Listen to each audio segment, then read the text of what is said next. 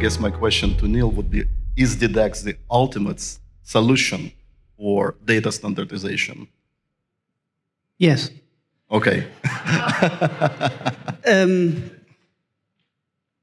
but Edward is right. To what, yeah, to what Edward said. no, no, Edward is, is right. Um, the DDEX standards are complex, no question about it. Um, How does it to, evolve? They have to be complex because the industry is complex. Um, if we want the standards to cover a large portion of what the industry, the creative industry, that is the music industry, puts out into the market, then the standards need to reflect that. Um, and we are constantly evolving those standards, and, and, and typically, at least within shorter periods of time, that typically adds to the specifications. But then every now and then we make a reset. A couple of years ago, we moved the ERN standard, the main product feed standard, from version 3 to version 4, which was a major simplification. Now, could we have gone much simpler?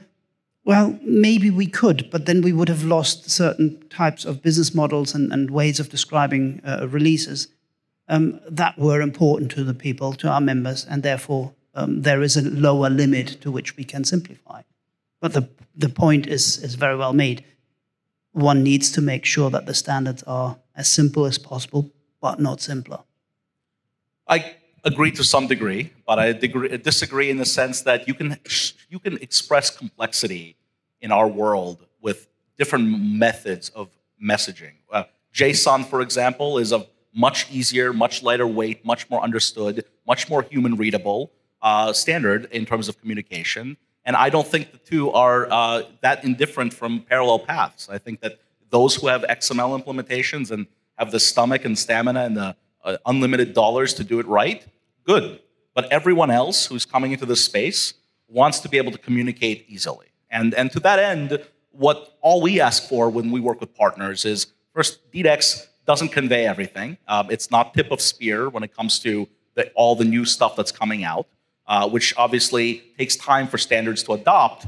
But to, to get there, we still need to conduct business. We still need to work with, with everyone that's in this room to some degree. So, uh, what we ask for from our partners is keep your silos, right? We're not telling you to shut down your systems or your silos. All we ask for is a front door. Give us an API feed access. Give us a window to crawl through, like anything, so that the data doesn't, doesn't have to just be locked in your infrastructure while you wait for DDEX to catch up on a standard that needs to be communicated. We, we have to get ahead of the curve when it comes to the new technologies, new communication paths that are coming our way.